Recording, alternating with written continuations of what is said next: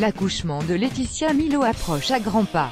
En attendant, la comédienne de 37 ans semble particulièrement bien vivre sa cesse. Sur Instagram, elle affiche un joli ventre arrondi. Laetitia Milo est heureuse et communique son bonheur et sa joie de vivre à ses fans. Enceinte de son tout premier enfant avec son mari Badri, et la comédienne s'affiche sur les réseaux sociaux avec une joie non dissimulée.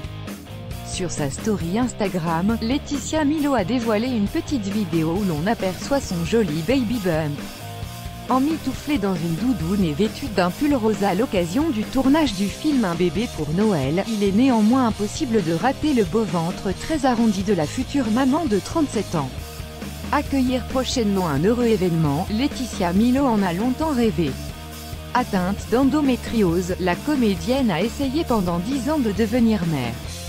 En novembre 2017, Laetitia Milo annonçait enfin l'heureuse dans les colonnes de gala, et la comédienne était enceinte de 3 mois. L'aboutissement d'un long combat, pour la jeune femme, qui n'avait pas perdu espoir.